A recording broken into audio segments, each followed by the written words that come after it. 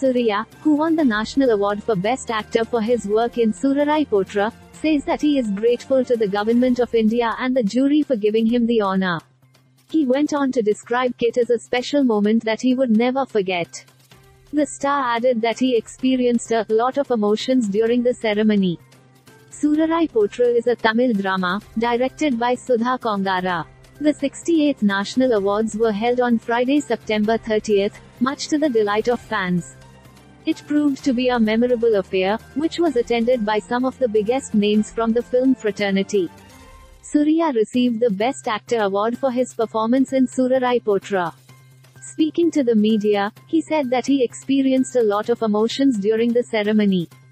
Huge honor. Truly grateful to the National Film Award jury and the Government of India. Lot of emotions running in my mind. I've a lot of people to thank. To begin with, there is Sudha. This is her baby. The film gave a lot of hope to people in COVID times. Then, of course, I thank my wife, Jyothika. Getting goosebumps. Truly a moment which I'll never forget, added the mass hero. Soorarai Pottru is a Tamil drama, inspired by the life of Air Deccan founder Captain G.R. Gopinath. The film features Suriya as Mara, an individual who is passionate about his dreams. It stars Aparna Balamurali as the leading lady and marks her first collaboration with Nadipan Naikan.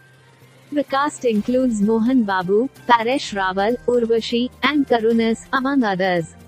Soorarai Pottru was released on Amazon Prime Video on November 12, 2020. It is being remade in Hindi with Akshay Kumar in the lead.